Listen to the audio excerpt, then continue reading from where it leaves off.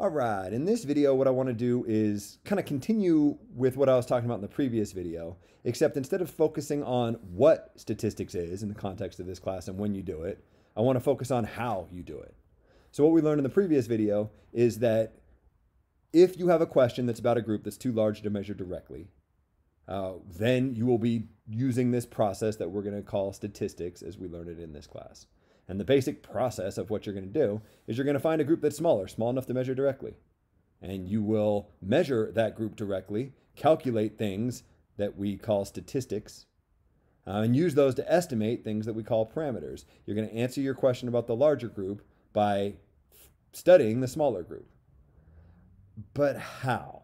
Right? So that's generally talking about what you do, but how do you physically go and do that? Well, what we're going to learn about in this video is called a four-step process of statistics.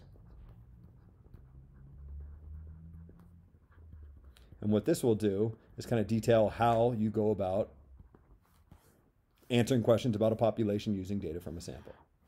Uh, so the four-step process of statistics. Your first step, uh, it's stated a little bit differently in different books, but essentially what you're doing is you're formulating your question.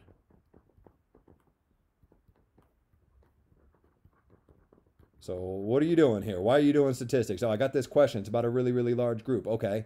What's your question? You're formulating your question. You want to know what percentage of all Texans have the COVID virus at some point. Fine. You formulate your question. Your second step? Well, you have to collect some data.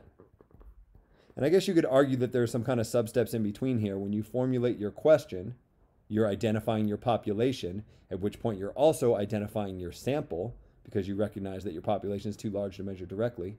And when you recognize your sample, then you can collect data from that sample. And so, step two, I'm picturing like uh, a clipboard with a bunch of names or numbers on it, whatever, a bunch of data on it. So, like in this example, maybe uh, the first person tested positive, the second person did not, the third person also did not, the fourth person did not, and so on. And we had, what did I say, 500 people.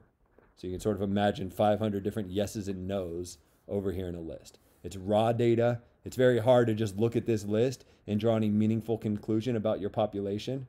But you have the means to do it. You have the necessary materials, if you will. Um, but it's just not in a format that's very usable when you're done with the second step. So that brings us to our third step, where you analyze the data. Uh, this is sometimes called descriptive statistics. Not super important that you're familiar with that terminology, just an FYI thing. And I guess the, the name sort of makes sense. We're describing data, hence descriptive statistics. So you have all these yeses and nos, and it's not really useful. You can't draw any conclusions right now. What could you do? Well, an easy thing you could do is just count how many yeses you got right? Or maybe you could figure out how many yeses you have and divide that by the total amount to figure out what percentage of them are yeses. What you'll learn in this class is there's lots of other ways that we can analyze the data. Um, you can make different plots. If you've heard of things like histograms, you can do that not with this specific data, but generally speaking. Um, you can calculate things like means and medians and standard deviations. If you're familiar with any of those terms or phrases, great. You don't need to be at all. The point is just you're going to learn a lot of different ways you can analyze data. And the whole purpose of analyzing data is changing it from its raw form, which isn't super useful, to a form where you can draw a conclusion.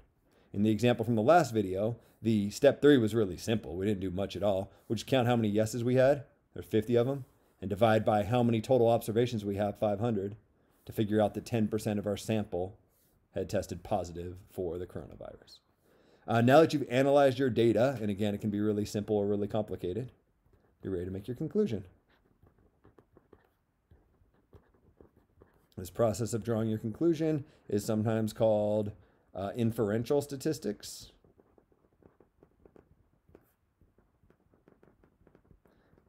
And that kind of root word sort of also makes sense. The idea here is when you're drawing your conclusion, you're drawing the conclusion about the population, right? So you're using sample data you're using data from the small group to draw conclusions about the large group. You're estimating the parameters based upon the statistics.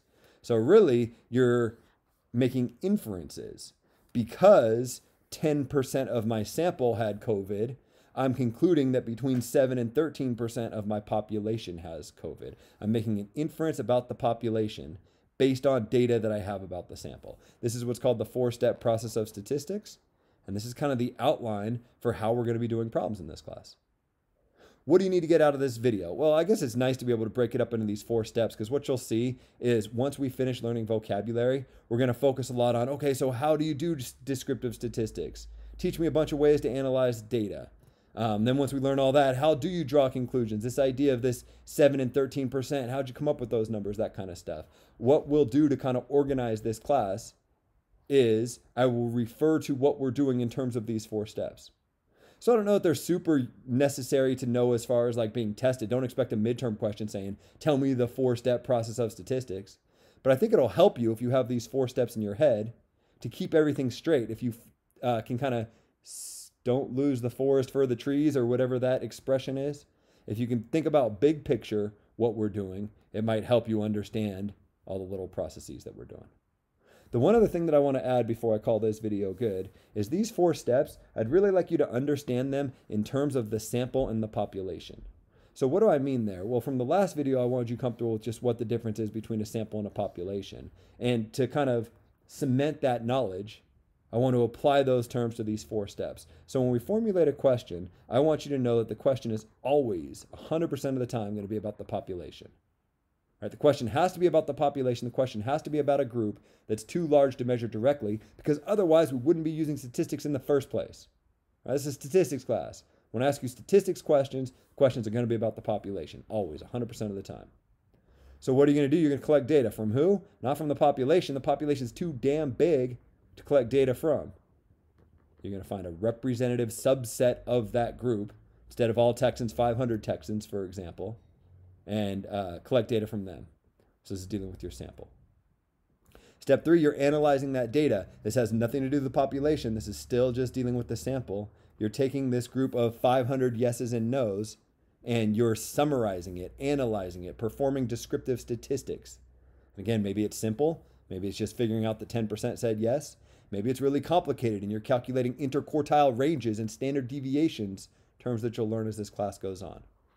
You analyze this sample data and then you draw your conclusion. But your conclusion, importantly, is not about the sample.